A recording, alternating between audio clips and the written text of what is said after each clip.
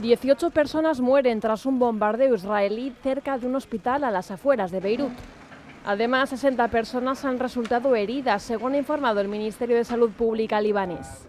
El ataque en el que han muerto cuatro niños tuvo lugar en el área de Ekna, cerca del hospital Rafik Hariri. La ofensiva se produce después del bombardeo la tarde del lunes en los suburbios meridionales de Beirut, conocidos como el Dajje. Pero el ejército israelí también atacó diferentes zonas como Jared Sheikh, Al-Ruwais, donde precisamente la aviación israelí lanzó más ataques a lo largo de esta jornada, según la Agencia Nacional de Noticias libanesa. El director del hospital ha asegurado que el personal del centro está trabajando a máxima capacidad y no evacuarán la instalación bajo ningún concepto. Se trata de uno de los centros médicos más importantes del país. Desde el hospital aseguran que ya no quedan más centros médicos tras los ataques contra los del Dagye.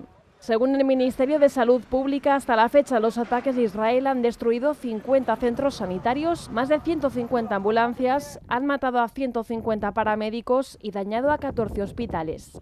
En total, más de 2.400 personas han muerto y otras más de 11.600 han resultado heridas en ataques de Israel contra el Líbano desde el 8 de octubre de 2023, cuando estallaron los enfrentamientos entre el ejército israelí y el grupo chií libanés Hezbollah en el marco de la guerra en la franja de Gaza.